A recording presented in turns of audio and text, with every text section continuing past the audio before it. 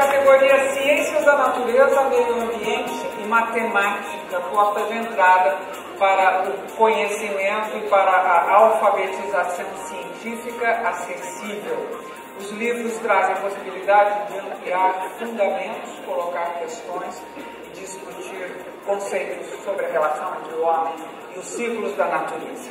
Os cientistas da minha formação do autor Mário Novello, recebe o prêmio de terceiro lugar e será representado por José Roberto Marinho, que também receberá a estatueta em nome da editora Livraria da Física.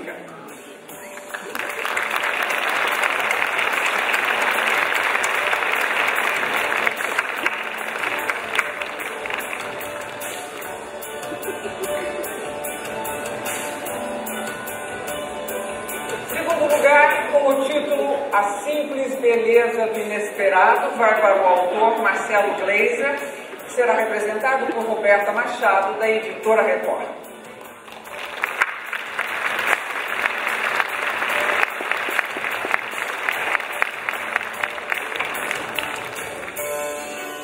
E o primeiro lugar, na categoria Ciências da Natureza, Meio Ambiente e Matemática, foi para a obra A Espiral da Morte, de Cláudio Ângelo, pela editora Companhia das Letras.